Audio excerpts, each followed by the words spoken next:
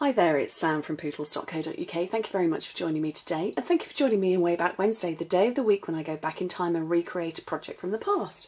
And this time we're going back to January 2014 to this project here, which is a beautiful box that you can see in real life that holds a dozen tea lights. Now, these are the ones you pick up in the supermarket, um, and I picked up, it was a set of 27 of them for a pound, and I picked up two sets, so I had the pale pink, uh, sorry, pale pink, pale purple, and a darker purple, um, which is what's inside there. Unfortunately, I burned most of the, the lilac colour, so I'm happy to mix and match, but there are a full dozen in there.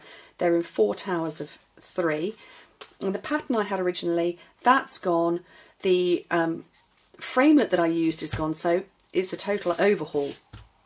Okay, so let me pull up my measurements. So it is, oh, I can tell you the measurements when it's finished three and a quarter by three and a quarter by one and a half inches deep, which is eight by eight by four. So even if you don't want to put tea lights in it, good size.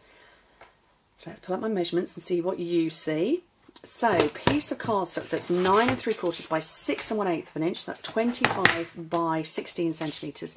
Stamped all over it. I'm using the new Falling Flowers, which does come with a set of framelits if you'd like. But I like to work with stamps. So I've got that. Let's get a big block and Wisteria Wandering, and I like the tone on tone. Let me move that out of the way. And I'm going to start in the middle and fill in the gaps around it.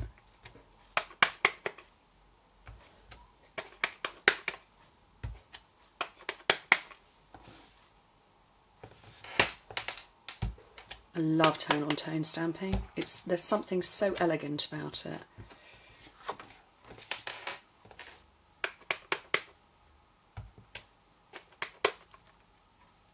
Let's turn this over so I get different patterns.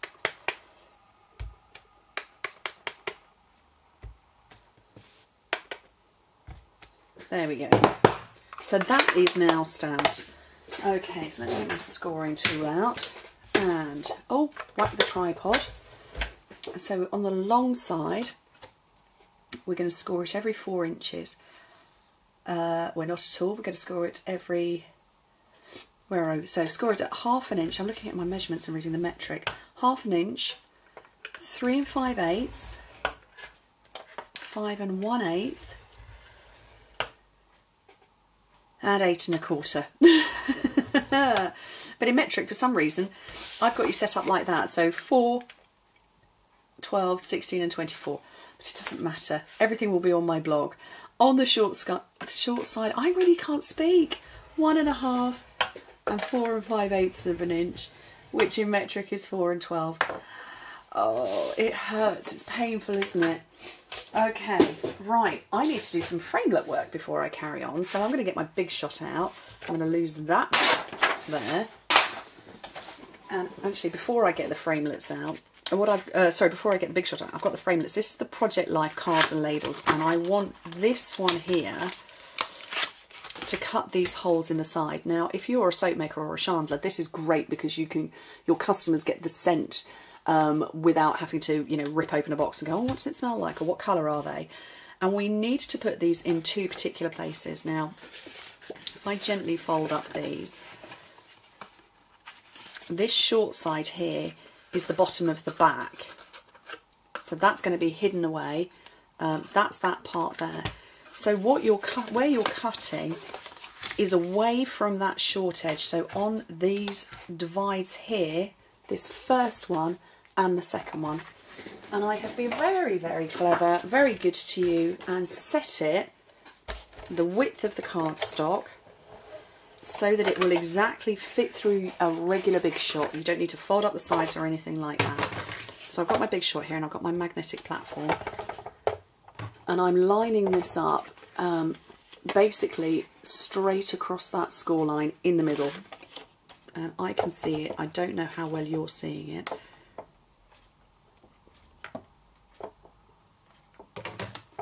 And what I'll do is I'll run this through and then I will show you what how I laid it up. That cracking is normal. That's the pressure of the Big Shot doing its thing so you can see it's gone straight through the middle and it's gone through the sides as well. And I'm going to repeat that down here as well. Oh.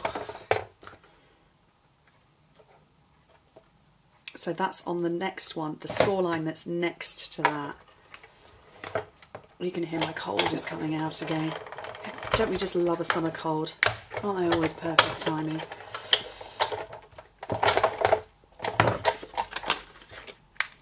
And that's gone through as well. Let me get the big shot out of the way.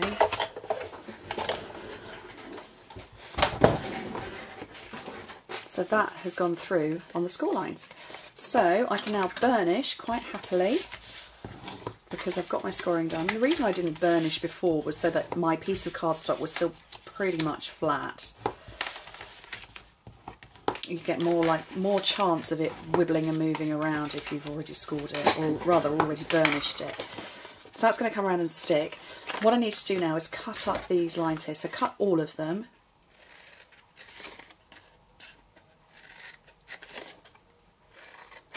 And then cut the little skinny ones away. Don't need those.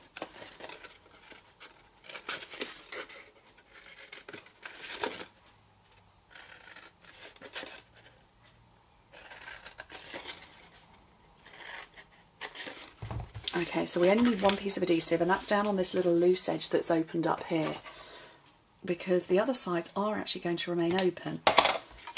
And the reason is that for that is so that you can fill and refill with candles as you want. So they're both the same either side, but this is the top, so you would fold in that one last. Grab your stacks of candles, and I'm going to try and cover up those dark ones.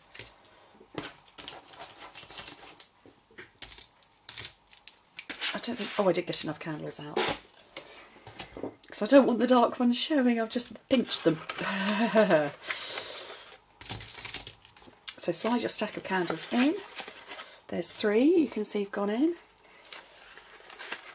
That's another three, six, nine, and 12. And you would never believe that this holds 12 candles, would you? Fold in these sides, fold in the bottom, and that, and then we're going to wrap our ribbon that way. And this is the new solid uh, Baker's Twine. We've got loads of colours of the solids and the thicks. And this is actually Elegant Eggplant, but even though it's not the, the matching colour, I think it goes rather well. And it's the same as I put on this one, so perfect plum with Elegant Eggplant.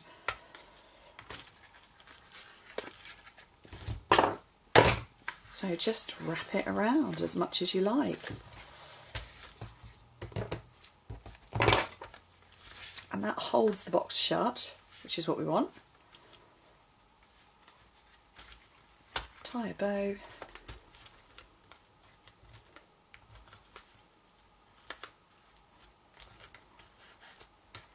and job done. Cute, isn't it? Dozen tea lights. Who knew? Thank you ever so much for joining me and I hope to speak to you very soon. Bye.